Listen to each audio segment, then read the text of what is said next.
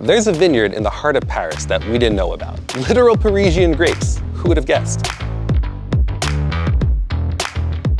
This is Montmartre, a neighborhood in the 18th arrondissement of the city that boasts over a thousand years of history to its name. Some of you might recognize the streets of Montmartre from the paintings of Van Gogh or Renoir. How many of you knew that there are juicy grapes being grown right there? This one on Rue Saint-Vincent has been home to the Fête des Vendanges de Montmartre for 90 years.